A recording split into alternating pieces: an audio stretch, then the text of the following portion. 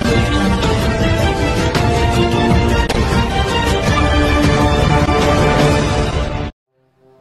Matli Sindh high court Sukkur bench की हिदायत पर कंज्यूमर कोर्ट बदीन के जज आमिर राजपूत की निगरानी में मातली फुलेली नहर की हदूद से तजावजात के खात्मे के हवाले से चंद माह पहले इरीगेशन डिपार्टमेंट की जानब से होने वाले ऑपरेशन के नतीजे में मनदम की जाने वाली इमारत और दुकानों के कानूनी हदूद तयन करने के लिए पैमाइश की गई।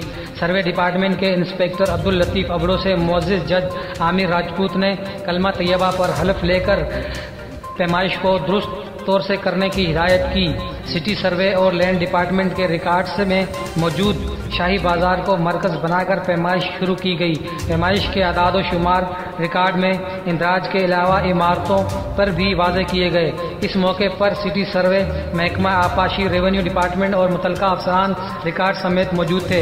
इस मौके पर असिस्टेंट मुख्तारकार मातली अशरफ, ओस्मानी और सबक चेयरमैन अब्दुल रऊफ निजामानी भी मौजूद थे। सिक्योरिटी के हवाले से पुलिस एहलकारों की बड़ी तादाद तैनात की गई थी। न्यूज़ मातली